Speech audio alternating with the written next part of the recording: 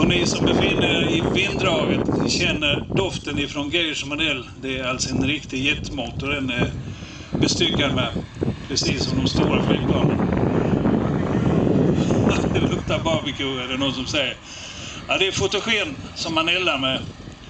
Och eh, den här motorn varvar förfärligt mycket. En sån här jetmotor brukar ligga på uppåt 120 till 140 000 varv. En sån här turbin snurrar med någonstans mellan 10 och 20 kilos dragkraft.